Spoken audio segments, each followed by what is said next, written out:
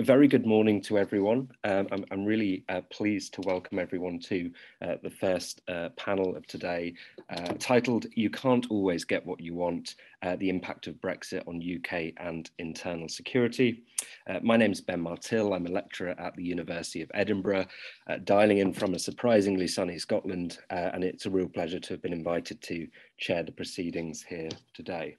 Uh, now we have an illustrious uh, panel of speakers whom I will introduce uh, properly when uh, just before their talk. Um, but for now, let me just uh, in, introduce our panel. We have Lord Peter Ricketts, uh, Baroness Sally Hamwee, Professor Christian Kaunert, and Professor Elaine Fahey, and we'll have presentations uh, in that order.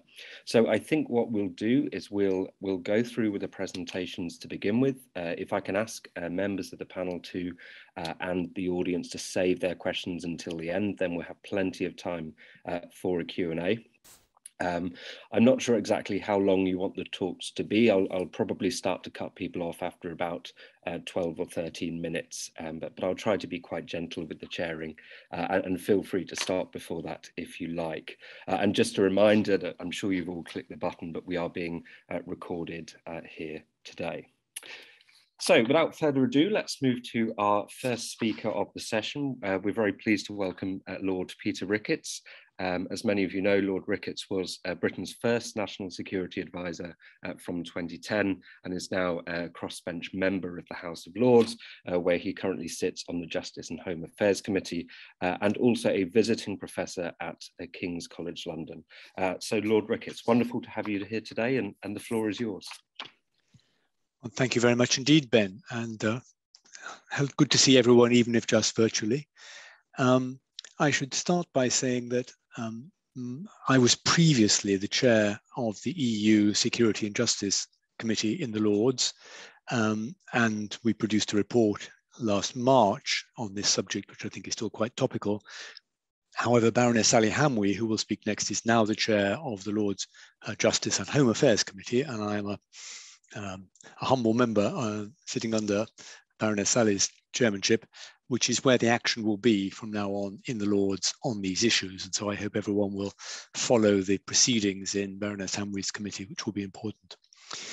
Um, now, Ben, it's, it's uh, not an easy thing to follow um, a keynote of the quality that we've just had from Julian King, which I, I thought was, to use an overused term, magisterial in its balance and its uh, comprehensiveness. Um, and so I am really just putting a little bit of icing on, on Julian's cakes because he's covered very much of the ground very well. Uh, and I won't speak as long as 12 or 13 minutes. I think I'm keen to let there be some time for, for good discussion. I think some of the points of context that Julian made are just worth reinforcing.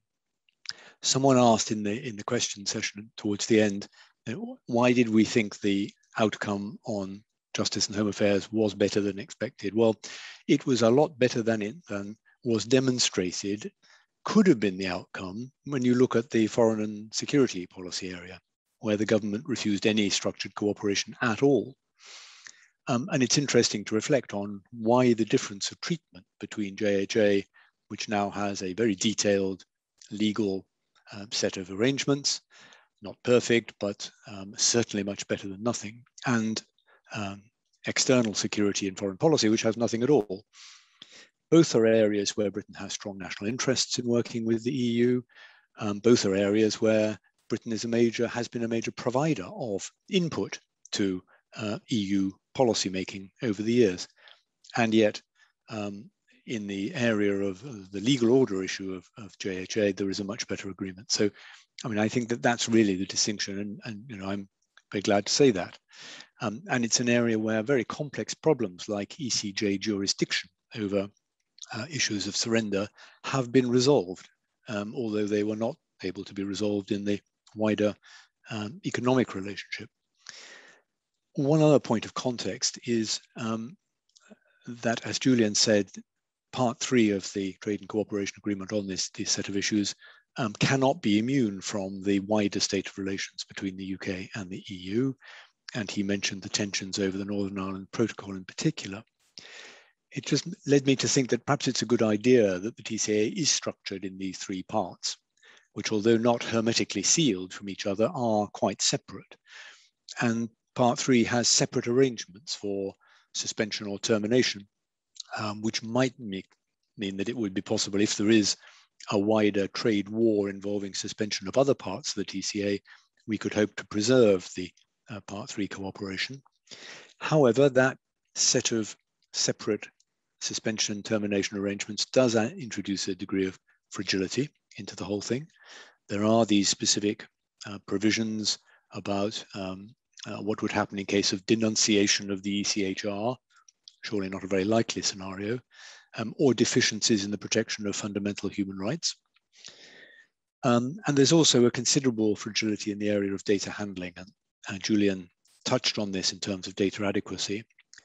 But of course, TC, the TCA Part 3 has a separate um, uh, set of arrangements uh, and separate standards for uh, data protection. There is a great deal of very sensitive personal data held under the Part 3 TCA arrangements. And there is the specific provision that if either side showed a serious and systemic deficiency uh, in the handling of personal data, then uh, data adequacy could be withdrawn. And of course, the UK outside the EU is now a third country, including in terms of um, application of the treaties to national security matters. We are not subject to the national security carve out, which I think is in Article 4.2. Um, and as the Schrems judgments have shown, the European Parliament and the Court of Justice are not slow to scrutinize very carefully the handling of um, national security data by third countries using EU data uh, provided to them. So that's a, an area where we need to watch carefully. The Home Office's track record is not unblemished in the handling of uh, personal data. And if there were to be serious problems in that area, there could quite quickly be implications for the operation of the um, part three of the TCA. So those are those are a couple of context issues. Each were mentioned by Julian as well. In the overall uh, assessment of, of the individual areas, the outcome there, I very much agree with Julian's analysis. Um, we did a report in, in the previous Lords Committee in March that we called Beyond Brexit, Policing, Law Enforcement and Security. And having looked at it again in preparation for this, it's still, I think, pretty relevant. Um, as Julian King said, uh, in the area of access to databases like PRUM and ECRIS, the crime scene databases, the practitioners told us that our access is pretty much as good as it was before, although we will not, we will not be part of the shaping of the future of those instruments as circumstances change. Passenger name recognition, the same, good access, important area, but uh, we will need to be very careful over the handling of the personal data we receive through the PNR system. The liaison arrangements in Europol and Eurojust again, uh, the UK get uh, very good um, third-party associate access to, to those organizations where we were such a key provider and hopefully that will allow operational cooperation to continue with the police forces. Um, Julian discussed briefly the issue of SIS2, the, the uh, crucial um, alert and information sharing database, which was so heavily relied on by UK policing. This was a real loss of operational capability. And I think our practitioner witnesses were all willing to accept that. The alternative is the Interpol I-24 system. We were told it is more clunky, uh, more resource intensive, um, it was taking hours rather than seconds to load onto the police national computer. Um, there was talk of an automated system being introduced to speed that up, and I'm not clear whether that has yet happened. Um, and there is the issue of double keying that EU law enforcement is required to enter the data a second time, first into SIS2 for themselves, their own use, and then secondly into I-24-7.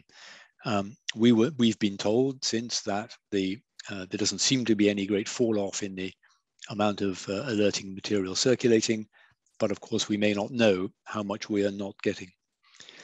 Um, and then lastly, in this area of SIS um, substitutes, there is a slightly mysterious animal uh, lurking in the jungle called ILEAP, the uh, International Law Enforcement Alert Platform. I think this is a gleam in the eye of UK policing at the moment. Um, it's supposed to be a new platform for sharing alerting beyond the UK and the EU to include others like the Americans um, and to have much greater functionality. But it's at least two to three years away, we were told. And in my experience of government IT systems, two to three years away can mean quite a long time away, in fact. So that is clearly an area to watch carefully. Um, for the future, therefore, uh, it seems to me that we have got a pretty good situation in most of the areas at the moment. I think we need careful scrutiny of how that continues over time. Um, quite a lot of it, I think, depends on good operational cooperation between those who know each other well by having worked closely together as members of the EU. As we begin to lose that personal connectivity, will the arrangement still work so well? Um, will they be affected by wider political tensions in the relationship? I think yes, inevitably, if they continue at the current level that they are. Um, will the surrender arrangements actually work in the real life of courts and legal systems across EU countries? There's a lot of quite novel material in there. And uh, we've been told that so far there doesn't seem to be any fall off in the uh, numbers of people being surrendered and for whom we're seeking surrender, but the numbers are a bit hard to come by. And um, subject to Baroness Hamwee's views, I think in our new Lords Committee, I think we will be keeping all that under careful scrutiny. Just very briefly, can I touch on two other things? One is a slightly under discussed area, which is about justice cooperation, but not law enforcement cooperation. And that is the whole area of um, private and family law which we touch on in, in our committee report. By leaving the EU, we left the two Brussels regulations, Brussels 1 on the civil and commercial uh, law framework and Brussels 2 on family law and, and parental responsibility. Brussels 1 enabled British citizens to pursue um, breach of contract cases, for example, um, across the EU. Now they have to fall back on the national laws of each individual EU country, more expensive, longer, more delays, more complex for small businesses and civilian um, individuals with claims against EU companies.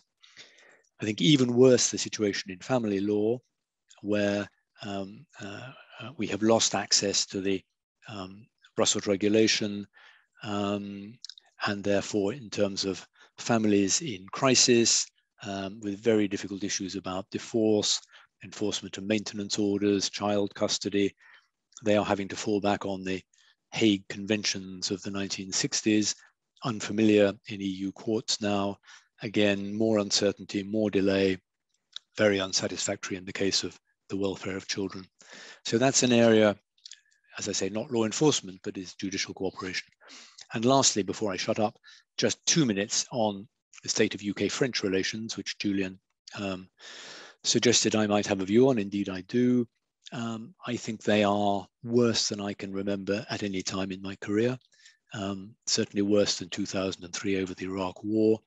Um, there is a fundamental loss of trust in Paris towards the British government and their reliability, uh, whether they can be taken at their word. Uh, we can see that rippling across into things like fisheries, but also the migration issues across the channel, which are UK French bilateral, but I think are very likely to make more difficult cooperation across um, the wider UK EU area. And in uh, foreign security, defense policy, the UK and France are wider apart than we've been for many, many years. So I don't think that context is at all helpful for preserving the sort of good operational cooperation that I've been talking about in this area. We can discuss all that in questions, Ben. I should just say I need to leave slightly before 12 o'clock because I've got to share another Zoom call starting at 12. Um, but I look forward to questions up to about 10 to 12. Thank you very much. Okay, thank you so much, Lord Ricketts. We're very grateful for your sharing those insights and also helping to link this panel to the keynote as well. So our next speaker will now hand over to uh, Baroness Sally Hamwee, uh, the Baroness is a Liberal Democrat member of the House of Lords, chair of the Justice and Home Affairs Select Committee, and was previously the Lib Dem Lords uh, spokesperson on Home Affairs. So, Baroness Hamwee, uh, over to you. Thank you so much. thank you very much. And can you tell me if you stop hearing me, which might be a relief because I my connection seems to be coming and going. You can't always get what you want, and you might have wanted, or at least expected, me to have a rather grander backdrop than this. I am in the House of Lords, but not the elaborate part of the palace. This is what an office shared by 11 peers looks like. You can't see my clutter because of the way where the camera is. That's other people's clutter behind you, me. Um, you might, of course, always get a lot of what you don't want, which is um, something I'm going to um, say a word about. I am, as has, you've said, chair of the very new, um, only since uh, Easter, Justice and Home Affairs Committee. The Lords has not had select committees looking at these issues before, and so you'll appreciate that's a pretty wide uh, remit but I am speaking personally.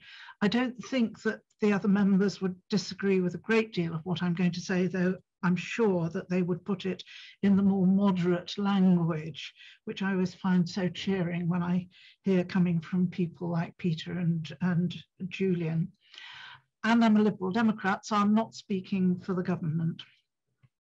Peter has mentioned um, particularly the family law area um, we are not members of the Lugano Convention. We may become so. Um, we're worried that um, this seems to be in a sort of state of stasis. We're urging the government to do what it can. The problems in the area may have been masked by COVID, which has slowed down a lot of operations, including court cases. Um, and most of the current cases started before we withdrew from the EU. But it is worrying. One of our committee members said we really should have made much more of a fuss about this when we saw the problem coming down the track. And I'll leave aside whether the role of a select committee is to be a campaigning group. I'm not sure how much more would have been possible, though we should actually you know, try and learn from, from that. The legal and academic world in both the UK and the EU was very clear about the potential problems. We don't know if we'll get what we want. And to pick up points made earlier this morning about entitlement and exceptionalism, and also about the context in which we're working, I think it's salutary for the UK to find that we're not as indispensable as we liked to present ourselves. That colleague said that the lessons from Lugano are to make a fuss when no one's taking enough notice about something. So I'm going to talk about some of the EU border arrangements, which will apply from sometime next year, we don't yet know when, which the committee fears could be troublesome. The first time ETIAS, E-T-I-A-S, was mentioned, I heard that as Etihad, which could be something to do with my being a Manchester City supporter.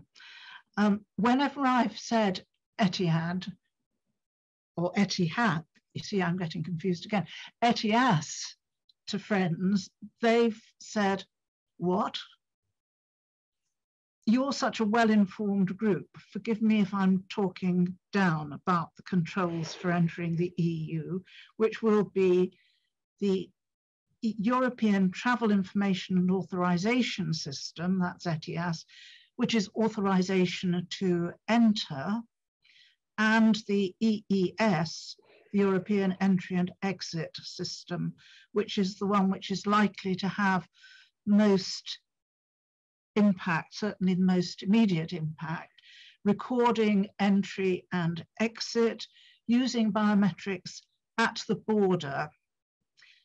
ETIAS will provide for authorization in advance. So at the border, not only the UK that's affected, but we have particularly large numbers who travel to the EU. In 2019, there was something like 5.7 million visits, visits, not visitors, but visits to the US, so including people who went more than once. In the same period, 67 million visits from the UK into the EU.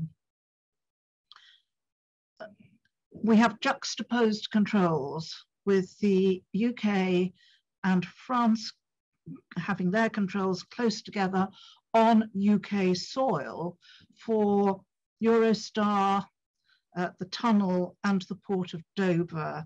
And this is where we think the trouble can be. I, I suspect there are going to be problems um, for air passengers arriving in the EU, but they will be at European airports.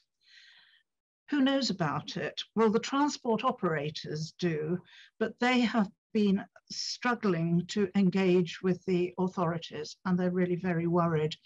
Um, the committee uh, took evidence a few days ago from the three operators. Eurostar say that they need an area the size of the whole area in front of their current check-in at St Pancras to operate the new controls. Now that's where passengers queue so now. So where would we all go?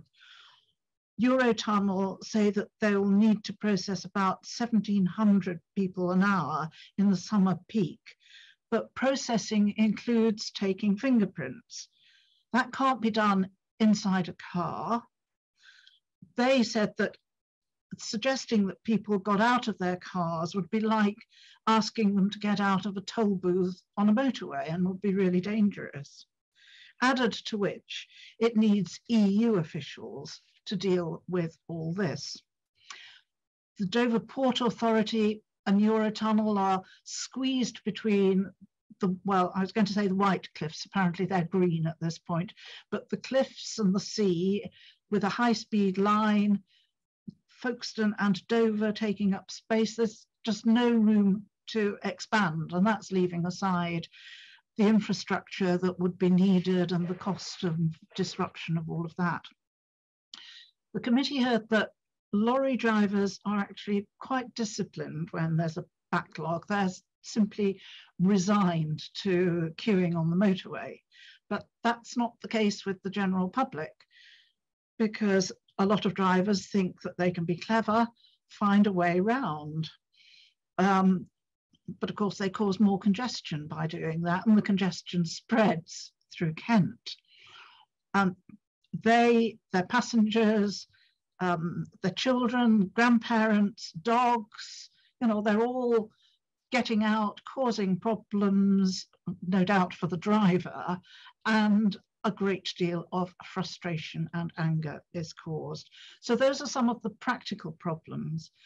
Add in legal and ethical considerations.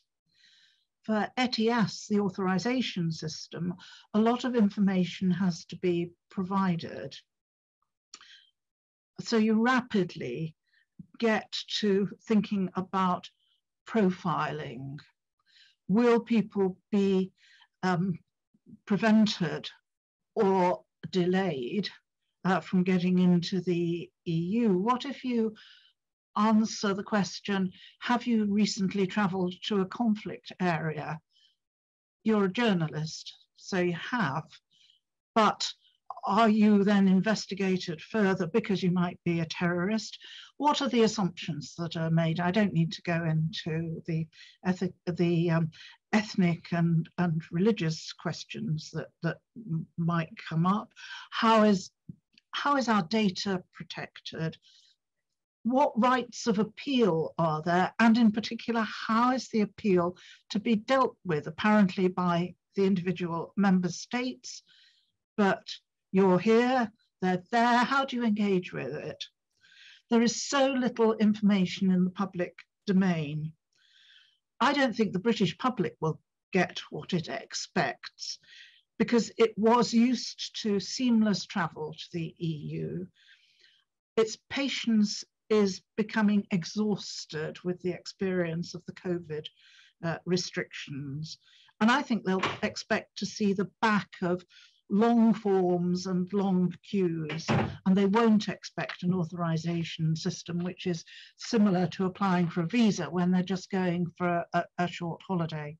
So I think it's incumbent on the government to reach out to the EU and seek to become involved in how all this will work. I'm not suggesting challenging the principles, but contributing to smooth operation and to raise awareness because it shouldn't just be, as we've been told so far, for the EU Commission to raise awareness and deal with all this, nor should it be for the transport operators. The Home Office should be, and I'm using a word I hate actually, to be proactive on behalf of the UK citizens.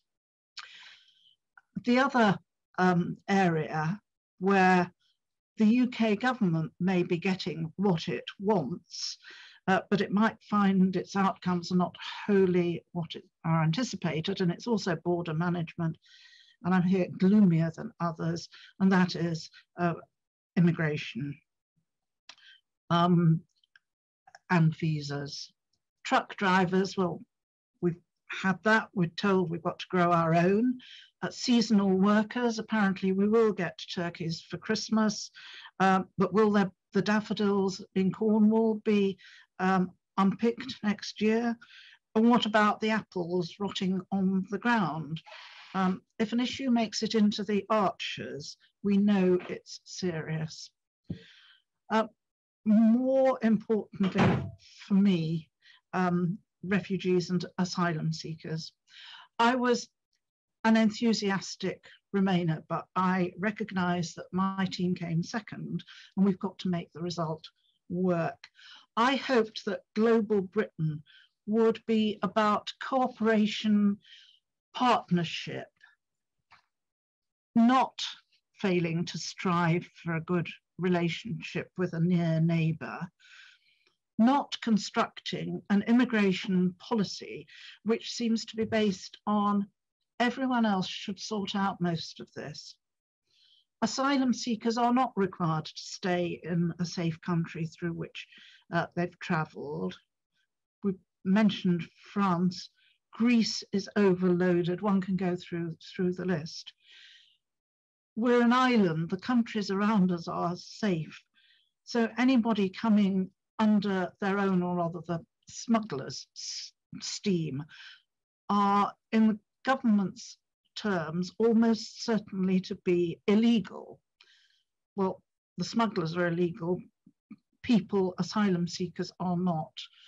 The Refugee Council has published a report this week with information which is directly contrary to the Home Office, the Home Secretary's statement to the committee a few days ago, that 70% of people on small boats are single men who are economic migrants.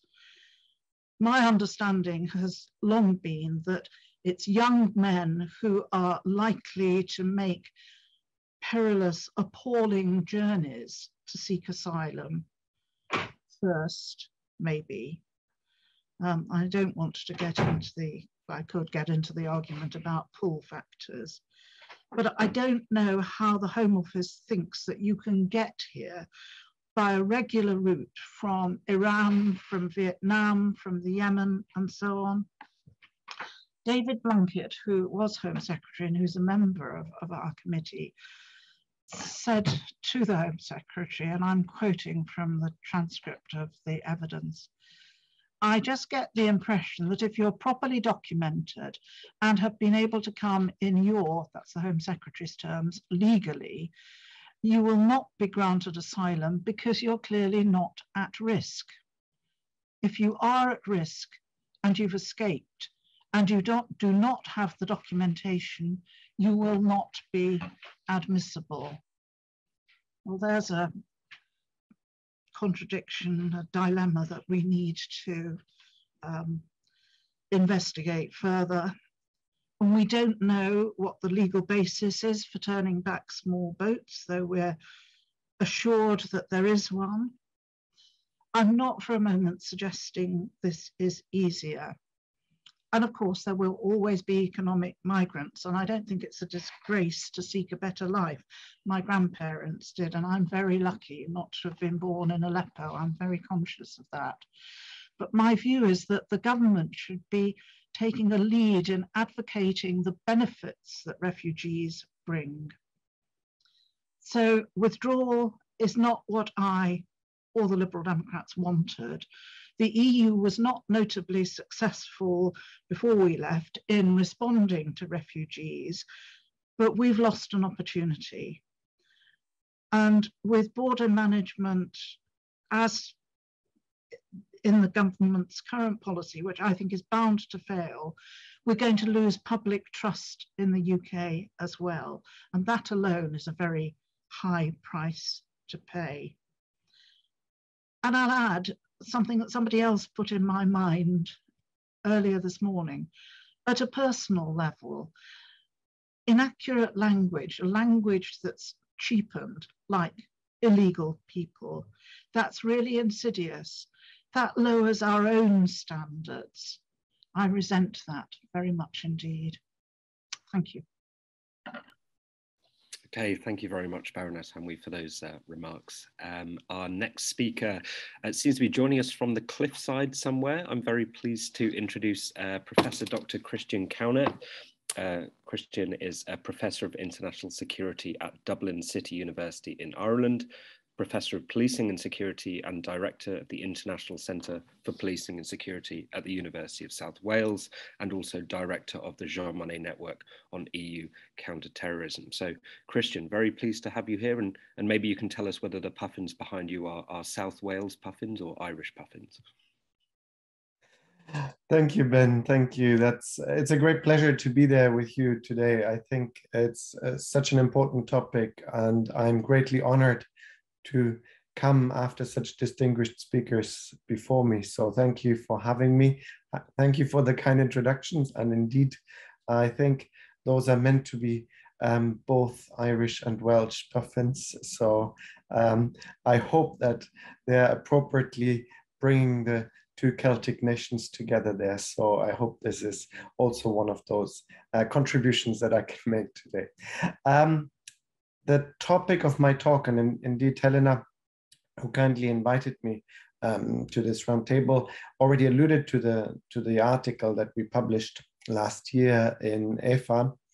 Um, I want to, in a sense, try and give an answer to the suggestion that you can't always get what you wanted. Because if we look at the history of EU membership for the United Kingdom, in particular in the area of freedom, security, and justice, but of course, also uh, more generally, I think for most of its history, we can give the answer that the United Kingdom did get most of what it wanted most of the time.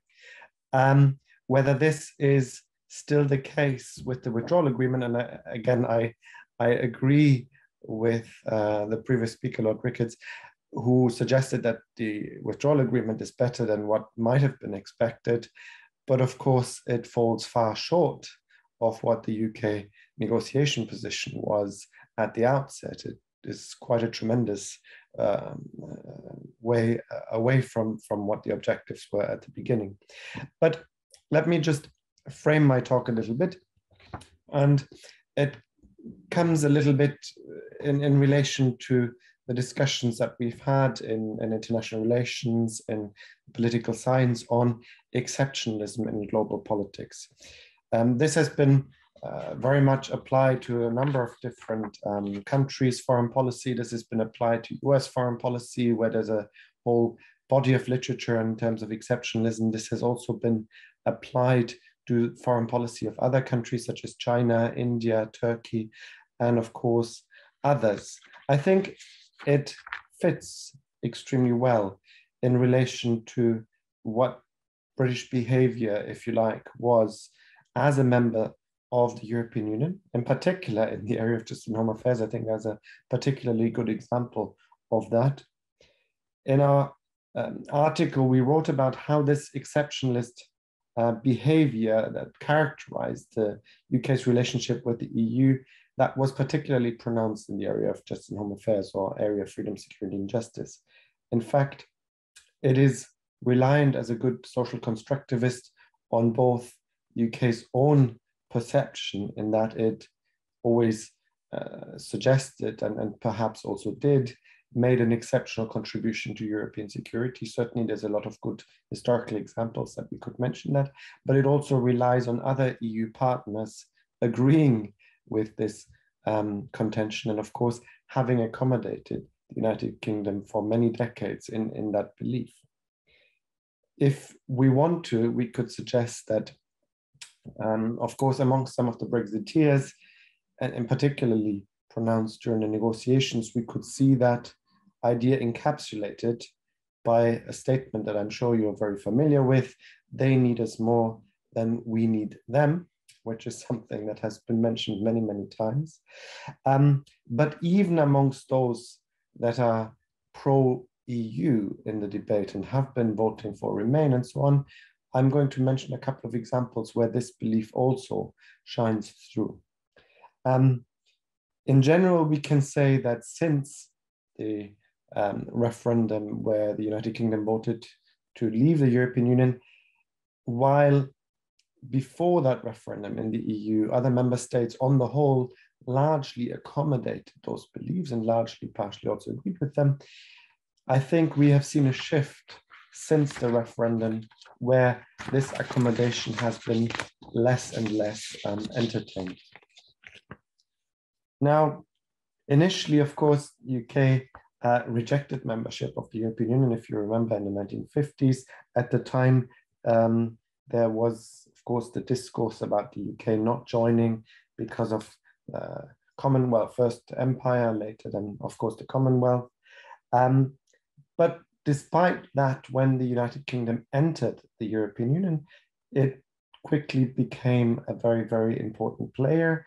And of course, the area of justice and home affairs is a, is a very good example, notably the area of counterterrorism. That is something that I've published a lot about.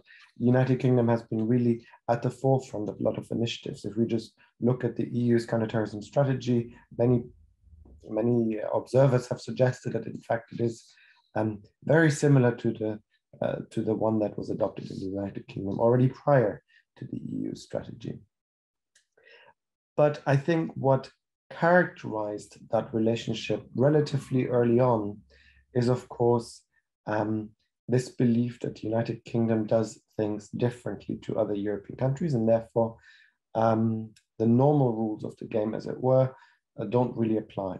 We can go back to the whole um, Schengen debate because if we if we just look at why is Schengen called Schengen, it comes back to a British idea, which was very much this insistence on not wanting to establish freedom of movement with the abolition of border controls inside the framework of the European Union. As a result of that, the other member states, such as uh, France, Germany, and others, went outside of the framework of the European Union, only to bring it back into the framework of the European Union later. It then continued in terms of the UK's insistence that this should be the so called third pillar rather than should be a community policy area, which was very much at the heart of the Maastricht debate, and UK very much um, on the on the position that it should only be uh, a different style, a different type of legal arrangement for this particular area. It then led to the variety of opt-out, opt-in uh, discussions that we've had over the last couple of years.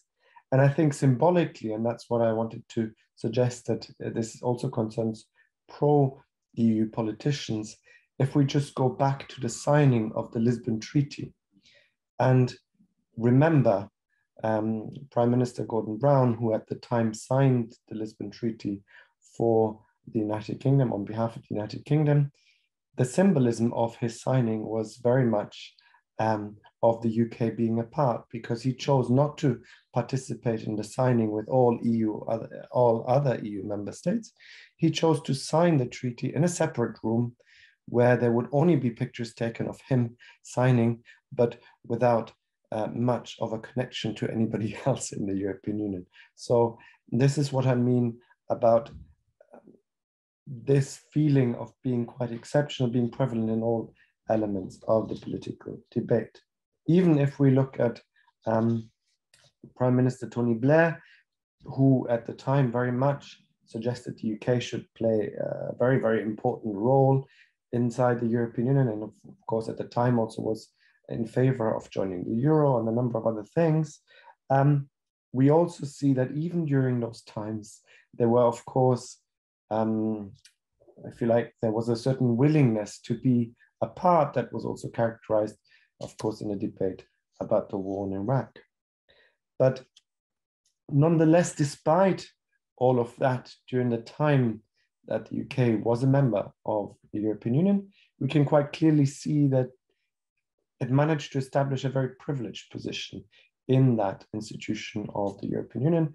It pretty much got a kind of a legal arrangement a la carte. UK could opt in when it wanted to. It was also able to opt out when it wanted to. And it was the only country, in fact, that had this combination of opt in, opt outs in a way in which it suited uh, the governments of the day um, more than any other country, because of course we have also opt-ins, opt-outs uh, in the Republic of Ireland. We also have that Denmark to a certain extent, but the variety and the uh, scope of opt-in, opt-outs that United Kingdom had acquired during that time uh, is of course unsurpassed. There is no other member state that had quite the a la carte uh, menu that the UK had during times of its membership. Now, when it came then to the issue of Brexit and the referendum, there were a number of things that um, were still desired. We see that, of course, the UK, uh, as previous speakers also pointed out, wanted similar capabilities as it had as a member state. We just need to mention the European Criminal Records Information System, ECRIS, Schengen Information System. Of course, there wasn't any precedent for an EU member state, non-Schengen state here to have those kind of arrangements. Um, there's also a number of documents that were then produced. We, we have, for instance, a document framework for the UK EU security partnership that produced a number of objectives here, discussions with the EU negotiators. But certainly, when we look at um, the current incumbent in terms of negotiating with the EU, um, uh, David Frost, he suggested at some point to, to Michel Barnier, the EU negotiator, that on law enforcement, where you describe the EU proposals as providing for an unprecedentedly close relationship, but in fact, they do not go beyond agreements you've made with other third countries, many of whom have far less data to offer the EU and less closely involved in a mutual fight against crime. This is just to suggest that this thinking that of course the UK is better than any other third country is still at the heart of even the, the, the current um, thinking in terms of negotiations. At the time, Michel Barnier, of course, warned that the UK was making far too high demands uh, of the European Union. And of course, um, when we look at the outcome, we agree that you know the outcome could have been far worse. Certainly, if we look at other areas like the common foreign security policy, clearly the outcomes are far worse. But the outcomes are also far off what UK negotiators initially were hoping to achieve. So I think in, in conclusion, what this in a sense suggests is that while um, the idea of exceptionalism, of course, relies on a certain self perception, on a certain um, material dimensions, of course. Uh, the UK legal system is very significantly different from continental legal systems. And as a result of that, materially, there's a good argument to be made that there's a certain difference that needs to be respected. Um, Brexit has also, to an extent, put an end to other EU member states' willingness and partially also uh, their legal capabilities to entertain all of those kind of issues. If I should just point out on the European arrest warrant, and in fact, it was pointed out that, of course, um, the European Court of Justice recently made a very important decision with regards to the Republic of Ireland. But if we look at, for instance, the German Constitutional Court, we can quite clearly say, should the German Constitutional Court remain true to its prior verdicts that it has made on the European arrest warrant in, in question, um, it is very difficult to see that uh, it would agree with that verdict of the European Court of Justice. It is very difficult to see that it is compatible with prior verdicts of the German Constitutional Court, which very clearly said that, for instance, the extradition of German nationals to non EU countries is completely against the German Constitution. And therefore, no matter what the withdrawal agreement says, it doesn't hold the same status in German constitutional law as, of course, the EU treaties would have, because the only reason the German Constitutional Court eventually agreed to the European arrest warrant was because of that one article in the German Constitution, which is that it has to interpret everything in relation to the idea that it contributes to European integration. The withdrawal agreement is, of course, the opposite of that. So, um, to end on the note, I think both legal capabilities and political willingness in other EU member states are far more limited now. So the idea of the UK as an exceptional power in this particular area is significantly reduced. It hasn't ended because, of course, there's still significant and important capability that capabilities that the UK can bring to the table, but the acceptance of other EU member states has been significantly reduced. So thank you very much. I'll end on this note and I look forward to questions and answers. Okay, thank you so much, Professor Kaunert, for that uh, succinct overview of British exceptionalism and its implications for uh, justice and home affairs. So our next and final speaker is um, uh, Professor Elaine Fahey, uh, Professor Fahey is uh, Jean Monnet Chair of Law and Transatlantic Relations and Professor of Law at the Institute for the Study of European Law at City Law School at the University of London, uh, and also the author of the uh, very relevant volume for our discussion on Brexit, Law, Justices and Injustices. So uh, thank you so much, Professor Fahey, and over to you. So th thank you very much, uh, Benjamin, uh, for your very generous introduction, and to uh, Lena and to uh, Sarah for all their fantastic organisation. Could I just check that you're able to see my slides? Um, okay, my screen, okay? Yep, we can.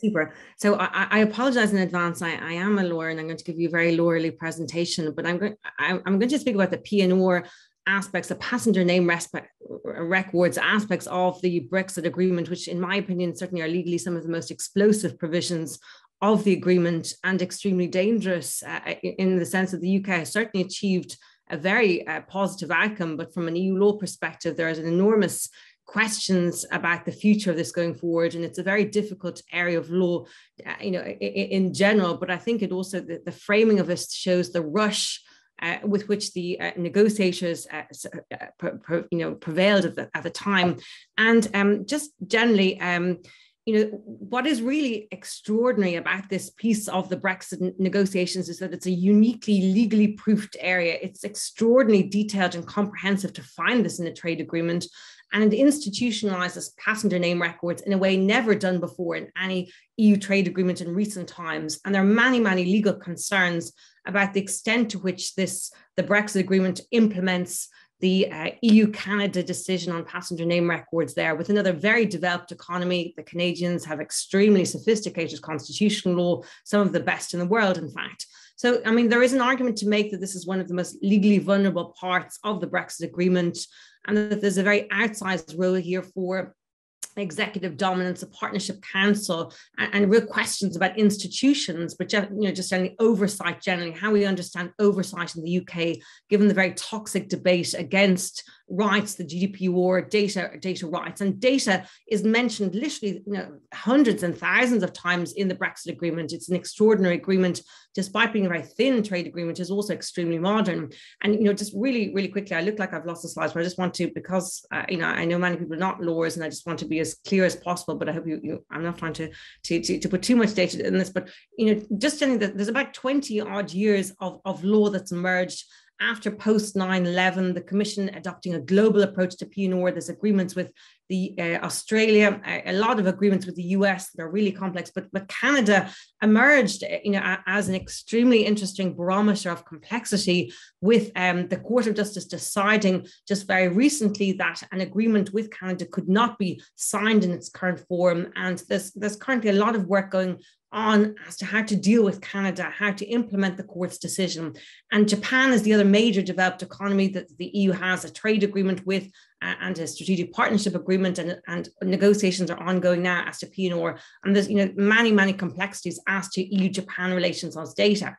So why is the Brexit agreement a big deal? What, what is so interesting about it? Well, it's really interesting legally because the PNR agreement, the parts of this, you know, uniquely follow every word for word, as it were, verbatim as much as possible, the court's decision of a, a decision on uh, as to EU Canada's to purpose limitation, the scope of it, non-discrimination, transparency, automated processing, data retention, and so on. So we might say ostensibly there's an effort to slavishly follow the court's decision, but there's you know, also many other complexities. So just very, very briefly, what did the court decide in the EU-Canada agreement? Why get so excited about all of this? Well, the Parliament, European Parliament sought an opinion of the court on the validity of the agreement in 2014. And in 2017, the court upheld the idea that surveillance could be used as, as a tool to prevent terrorism, but there had to be very strict rules as to how to implement it. And you'll see I tried to underline here, there's the key passages, but the, the court kept on saying the agreement was not doing what was strictly necessary as to the use of data. And the court said that a five year period to retain data um, was okay. That was that was absolutely legally fine. But there were many questions about the retention, the use of data after passengers had departed the, the jurisdiction as to what was strictly necessary.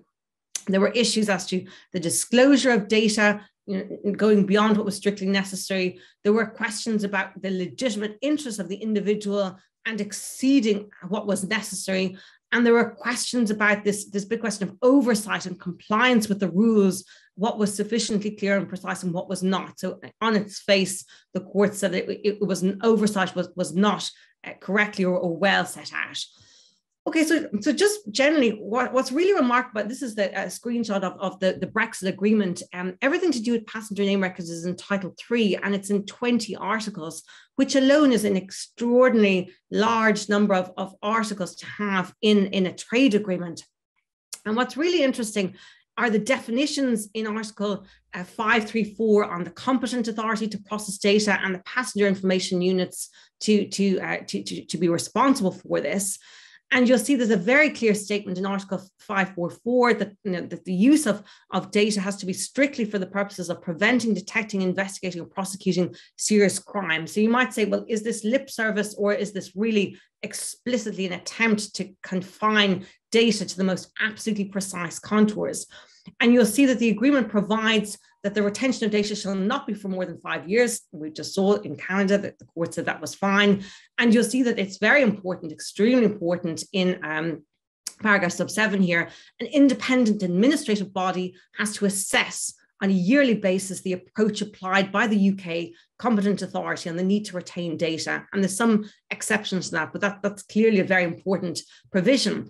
Another hugely important provision is Article 556 on the disclosure of data outside the UK, that the UK cannot disclose PNR data to public authorities in other countries, except if the data is disclosed to public authorities in paragraph A, if the purposes are set out, if it's disclosed on a case by case basis, B, C, necessary for the purposes as described above, with a minimum amount of data and third country. Anyway, whatever about the the, the, the, actual, you know, the wording of this, you'll see there's lots of situations where data can be further disclosed. And it might be in, you know, quite precise parameters relative to the judgment, but still there's a lot, lot of issues here. There's also a, a very key provision on the suspension of the title for a variety of reasons, a very powerful tool, but it sets out the, the provisions to go forward there. And there's some aspects of consultation um, to, to go through uh, before this happens. I think another really you know broader question is just the general the partnership council powers as to data, the very executive dominance here, what role parliamentary committees will assume in raising these issues, whether strictly within their mandate or not. And you know, in, in short, there could be many questions here as to, as to the framing of this. But I thought what's really, really interesting about the Brexit agreement is that right after it was drafted, this document was leaked online. I think at least it was leaked. It's, it's hundreds of pages of questions that the member states had for the Commission on the, the Brexit uh, agreement itself. And you'll see that you know, lots of the answer, the questions from the member states are in, in the middle column, and I've underlined some of them, and everything on the right is what the, the commission says. And I'll talk you very quickly. But what's really interesting here is the commission gives lots of very bland diplomatic answers, generally trying to assuage the concerns of the member states. But the member states in the PNR part of the agreement ask the same questions over and over again. And you see the first question is there, you know, is this really in line with Canada? The second question there in the second box of the, the bottom half of the screen, can you clarify what is a competent authority or an independent administrative body? And you'll see that on, on the bottom right, the, um, the, the commission is trying to say that they, they, these are um, the competent authority and independent administrative bodies are different. Their independence is important, it's required. There's an assessment on a, a yearly uh, basis required. You'll see the questions get asked over and over again, the same questions. What is a competent authority? What is an independent body? Are they the same? And that's the first question uh, there at the top and the right hand side the commission says no. Then there's public health risks justifying disclosure identified in, in the agreement. And the commission's asked about this. And you'll see in the bottom right hand side and say, well, yes, this, this is okay. There are other situations where this is somewhat comparably uh, provided for. Lots of people dispute that. Some interesting questions raised by the member states um, at, the bottom here of, this screen, you know, to what extent can EU um, you know, counterparts of the UK is the reciprocal obligations as to the transfer of data, for example, as to the public health risk issue. And you'll see that there's, they say, no, this, the Commission says, no, this is only as to the UK.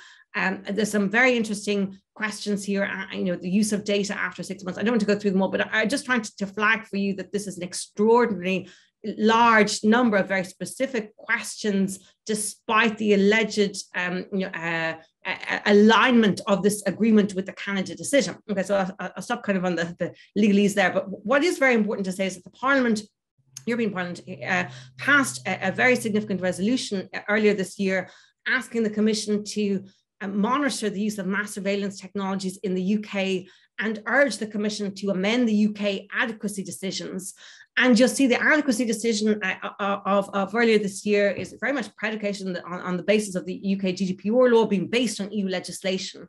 But there are, of course, significant carve outs for immigration and a sunset clause that all of this you know, will die in a few years' time has to be reviewed. And I think I can't put it better than Eduardo Salesses in an interesting piece on this that the UK adequacy decision is subject to a time bomb. The case law of the Court of Justice has become more and more solid and clear in relation to the incompatibility of various practices adopted by national security authorities. This makes the general transfer mechanism based on adequacy unstable and uh, unreliable. And of course, the UK has planned plans a bonfire of, EU law, uh, allegedly in, in, most recent weeks, very inflammatory terms. Uh, uh, this idea that retained EU laws is no longer to be retained, and the GDPR in particular is a, is a bureaucracy to be departed from, despite extraordinary amounts of, of, of business, consumers, uh, you know, individuals lobbying to, to, to retain the framework generally of compliance. And I suppose so. Some general questions just to raise, and this is part of a, a project that I'm starting to do with um with some people in, in Queen Mary, uh, Professor Elspeth Guild in particular. Um, you know, what what is the depth of oversight of this? You know, it's very difficult to find any information uh, about this. Uh, you know, and, we're we're looking for the importance of independent assessment um, it's not featuring anywhere. How do we understand the, the idea of, of, of true review? Uh, how do we understand its interaction with many other EU data transfer agreements?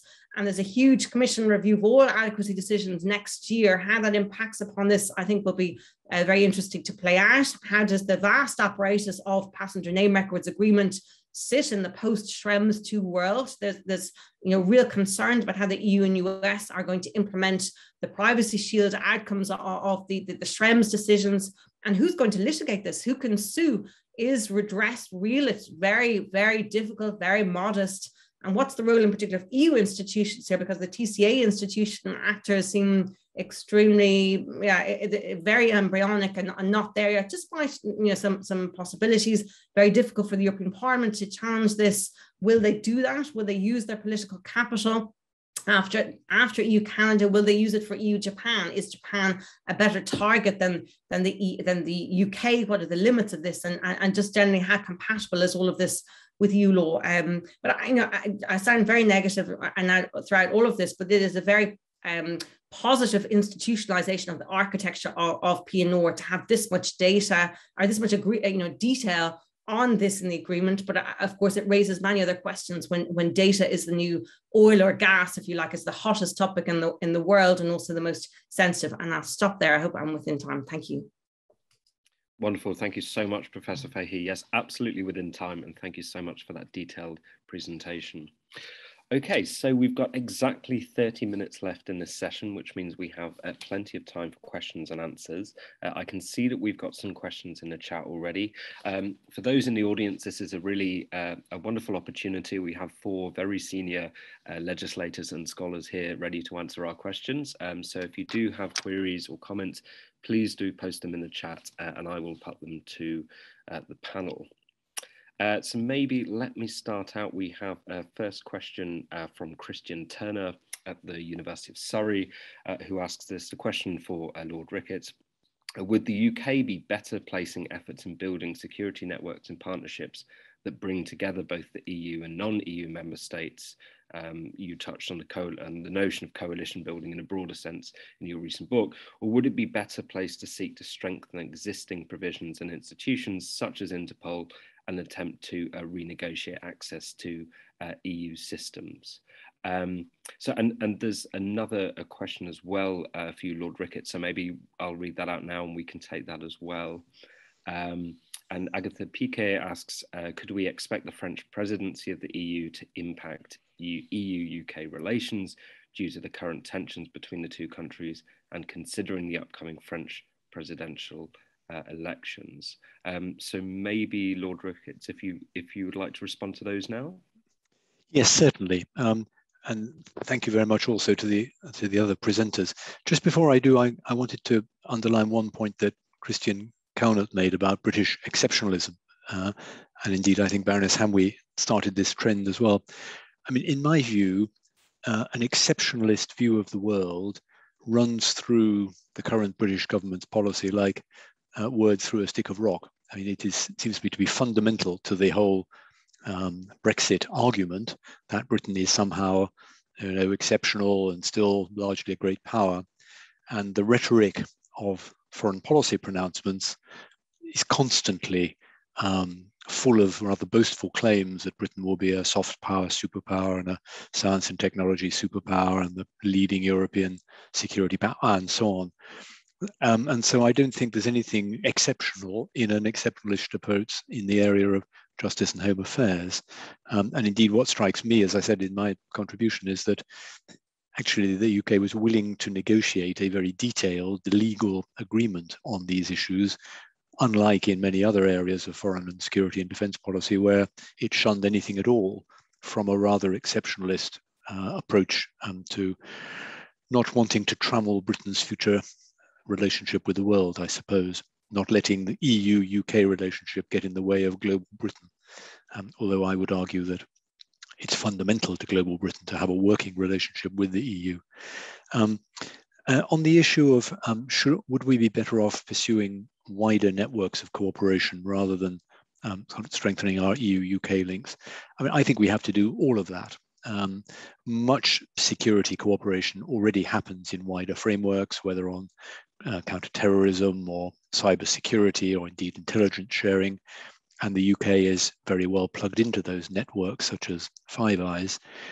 But uh, the actual cooperation between law enforcement and justice authorities with the EU is so law bound that I think it's essential that the UK stays in close touch with the development of EU policy in all these JHA areas, because one of the threats to what was achieved in the TCA seems to me to be the evolution of EU regulation and law with the UK not following it and um, a growing gap developing between the two. I think that would be risky for the UK. So I think we should be doing both, both working on the wider canvas, but also specifically to keep up to date with um, the trend of EU policymaking. Um, and then uh, to Agat's question about um, the implications for the UK of France taking on the presidency and of course the upcoming French presidential election, I think they're slightly different things. The French presidential election seems to me to give uh, Emmanuel Macron some incentive to certainly not look weak in his handling of the UK, and if possible, to come out looking strong and resolute in handling issues like the fisheries dispute, where fishermen have such political resonance in France. Um, I, I am not sure, to be honest, how much um, influence an EU presidency will have on UK EU um, future framework negotiations. They have, as everyone knows on the call, been very much handled through the Commission, now by Commissioner Sefcovic, I think doing a very professional job. And member states have tended, seems to me, to stand back from that. Of course, in the presidency, the French will have a agenda setting role. We can't expect them to push EU UK issues towards the top of that agenda. They'd have no interest in that.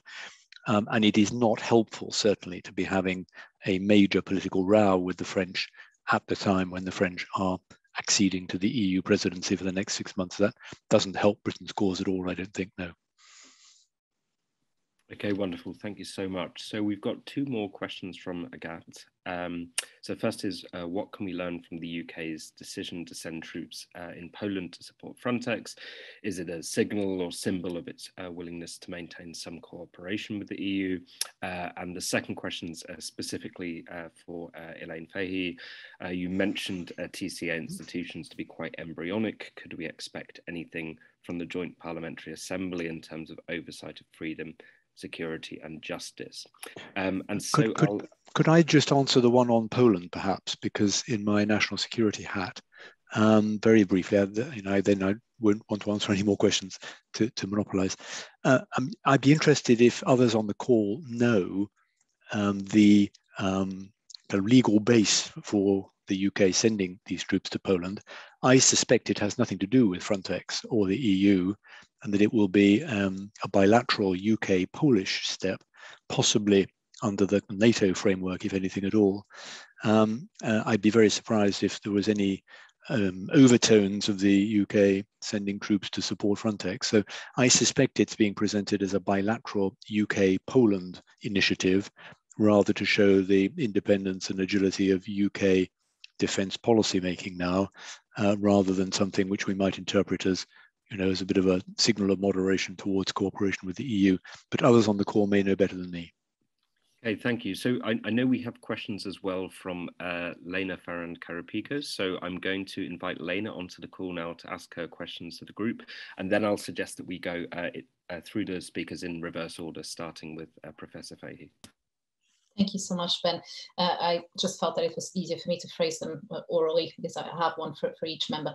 Um, the uh, Before I actually go into the questions, I'd, I'd like to actually say, that, say that, uh, about the comment that's uh, Ward uh, Ricketts just made that actually, I, I, do think that is the case. I think that actually it, it is a bilateral, um, based on a bilateral agreement uh, relationship uh, with Poland that actually it, it aligns really well uh, itself with um, with the uh, recent rhetoric that the the prime minister had in relation to um, the uh, in relation to the, the developments uh, um, in terms of, of, of the judiciary discussion that is taking place in Poland. So I think you know the prime minister spoke about that kind of the situation and supportive of, came out in support of Poland. So I think it aligns itself quite well in terms of bilateral um, arrangements but if anyone else has you know any other insight into the possibility of, of supporting Frontex, please please do so.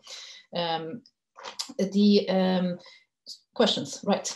Um, my first question, so I, I, go in the same order. Uh, Ward Ricketts, um, I think that's, I'd like to actually pick up on something that I thought was very, very important that you mentioned, which has to do with the personal connectivity uh, being an issue uh, going forward. So basically, as the, the relationship becomes uh, less close, actually there is a very important personal element that is lost, which had to do with socialization.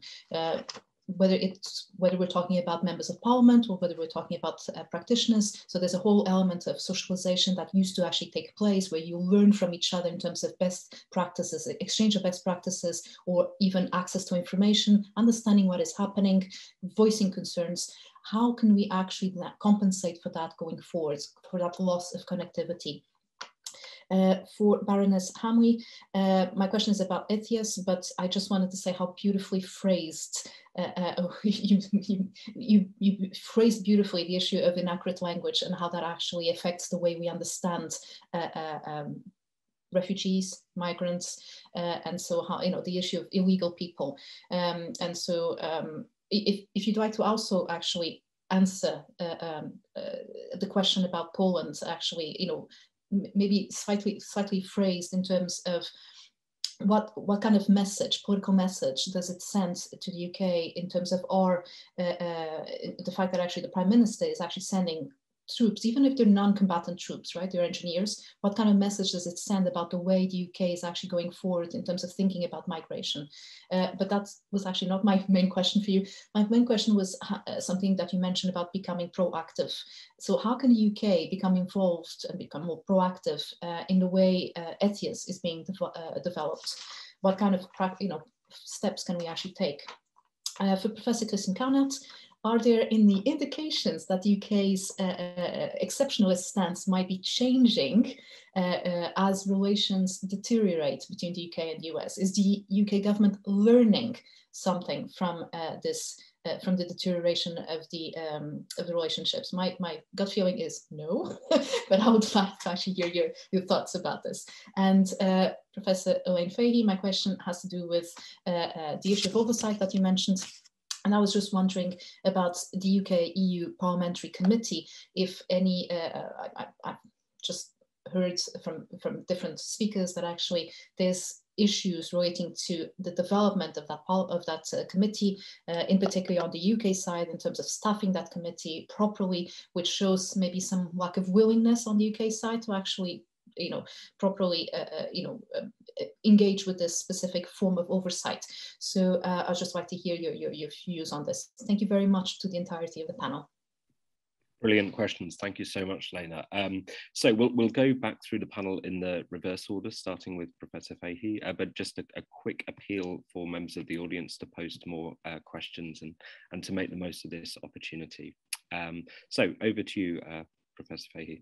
Uh, uh, th thank you so much for that. Thanks to, to Lane and um, Agatha. So, so lots of really difficult questions. I think other people on the panel might be a lot better placed to, to actually answer them. Um, you know, as far as I understand, just what, what, what Lena has said, that the institutional dimension to all of this is is is extremely ill-formed or just embryonic is there there's you know and um, certainly from my reading of it there's you know, tremendous uh, potential for cooperation with there's such a, a you know um, a, a, low point in the relations, such a degree of um, um, yeah malaise about taking things forward. So yeah, I, I, don't think it's surprising that that we are in the position where we are. But maybe I'm I, you know I'm just externally observing this, and I think other particularly other.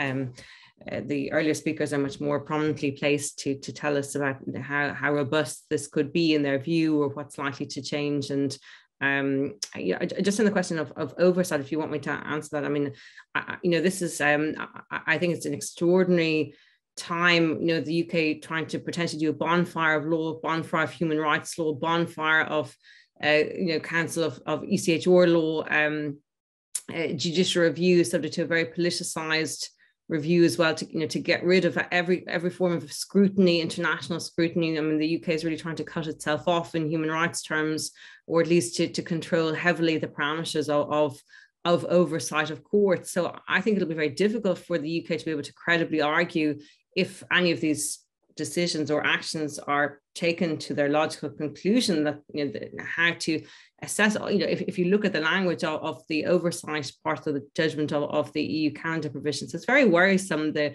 rhetoric that, you know, courts are, mm, you know, bad. And in this country, the UK, you know, most lawyers as well and academics and politicians seem to be obsessed with some voters' rights provisions of the ECHR. I mean, there's a huge jurisprudence in many other areas of law, data protection, you know, family rights, um, due process, and so on. Like a massive number of, it's the largest human rights instrument, um, you know, uh, in, in Europe, much larger than the EU, um, 47 member states. So it's, it's really sad to see continuous attack, I think, by Dominic Raab in recent times as well. Uh, you know, so I think it's very difficult to credibly argue oversight when you have such concern amongst the member states about what is a competent authority and, and very vivid concerns by the European Parliament as to, to all of this. So I, am afraid, to, sorry to, to sound so, so grim and whatever, maybe I'm completely misguided, but I think, you know, uh, certainly Lord, Lord Ricketts and, and uh, Baroness Hamwee have, have a lot more insights to this. But yes, for, there appears to be very embryonic provisions. They're likely to, to grant a lot of, um, you know, institutional uh, dynamics there, but I'll stop there if that's okay.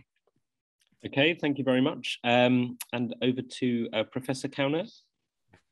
Right. No, thank you for the questions. I think they're, they're, they're very interesting in terms of indicators that the EU's exceptional, uh, the, the UK's exceptional stance is in a sense lessening. I think in this particular area, we, we certainly cannot see those indicators as of yet. But I do think if we look at the larger picture, certainly if we look at the, the Northern Ireland Protocol, I think what we do see in that debate, if you remember how the debate went, was that initially it was the UK very much threatening that we're going to pull the trigger here, we're going to uh, trigger Article 16 and so on. Um, and when the EU started putting all sorts of different news items out about possible trade wars and so on, then it was suddenly, ah, well, um, let's not raise the temperature here and let's kind of maybe calm down for now. So from that, I would deduce that perhaps the exceptionist stance is not as deeply held or as deeply felt as, as what is perhaps portrayed, but that it is more of an instrumental argument that relies on a perception of the EU's weakness and on a perception that the EU is not particularly unified in their stance of rejecting uh, in, a, in a kind of uh, instrumentalist way that if you ask a lot, you get a lot. And I think on a number of subjects, this turned out to be not completely wrong, you know, in a number of areas. Um, UK did get a number of things just by asking for a lot of them. But I do think there's clearly some limits. And I think this discussion has perhaps um, outlined some of the limits. So trying to uh, extrapolate from, from that debate onto, onto the area of freedom, security, and justice, I would imagine that uh, there, there could be a point, and I certainly think when it touches the core essence of individual member states' constitutional orders, such as Germany, such as France, and so on, um, that could be the sort of limit of, of that argument. And, that, and I think uh, most people in the government would realize that. Um, when it comes to Poland, I think it's something quite interesting going on there because there's two issues happening here at the same time. Now there's a this so-called migration crisis at the Polish border with Belarus. And then there's the so-called migration crisis in the channel something that was, of course, totally predictable. And in fact, I remember a couple of years ago mentioning to, to the Home Office that this is what is very likely to happen as a direct consequence of leaving the Dublin regulation. This could not have been otherwise. Um, but of course, they're sort of linked now, temporarily, but also logically, because of course the UK needs to show that it stops the migration flow at the Polish border in order to then make the claim we're keeping the border uh, safe in the channel. And, and of course, um, there's also the additional aspect to it, which is uh, the American warning that the Russians are building up troops also to the to with regards to Ukraine and so on. So we're not only potentially talking about a so-called migration crisis, but we're also talking about a possible Russian incursion in Ukraine. So I think this fulfills both purposes. So I think that's probably why we're seeing that. I don't think it's only directed um, towards the Polish border, but it's probably also directed uh, with regards to the uh, migration crisis in the Channel. Okay, thank you so much. So I'm just going to mess with the order slightly and bring in Lord Ricketts because I know he has to leave in two minutes. So um, Lord Ricketts, did you want to respond to that question quickly? Thank you very much indeed. And, and yes, I'm sorry I have to leave, but I will leave uh, Baroness Hamwee to speak for me in, in wrapping up on all the other points. Um, just in two seconds, um, I totally agree with Helena. Um, and she said more forcefully what I was trying to say, that the habits of cooperation and the, the personal links that have been built up by UK policing over many years um, in Europol and elsewhere will over time erode inevitably. What can we do to compensate that? I think make the very most use of our continued access to places like Europol and Eurojust um, to ensure that the operational staffs are working very well together in the border controls and, and everywhere possible to continue being useful allies, bringing useful information, being major providers of intelligence and alerts and information um, to our European counterparts, and also continuing the parliamentary links, which are still just about possible, although more difficult now, um, to make sure that members of parliament, MEPs, um, continue to meet and we continue to be part at least of the wider family. Um, and just on migrants, uh, Christian, I just remind you that um, there have been UK uh, French migrant pressures for 20 years at least. This is nothing new at all. And it is a rather different situation to Belarus, where migrants seem to be being instrumentalized by the Belarus government. I don't think anyone um, believes that France is doing that. It's a long, long run uh, problem across the channel. It can only be solved by good cooperation. Thank you very much for having me. Thank you so much, Lord Ricketts, and thanks for joining us. And uh, over to you, Baroness Hamwee. For, sorry for keeping you for so long. No, that that's fine. I can't possibly speak for for, for Peter. Um, I often find that he puts my thoughts much better than I could. Um, I've absolutely no um, knowledge about Poland, but my um, instinctive reaction to the question was very much as as Christians. It's quite convenient to be able to show that there can be really tough resistance at a border in to the um, government's um, current um, presentation. Uh, as Peter said, it is not the same situation.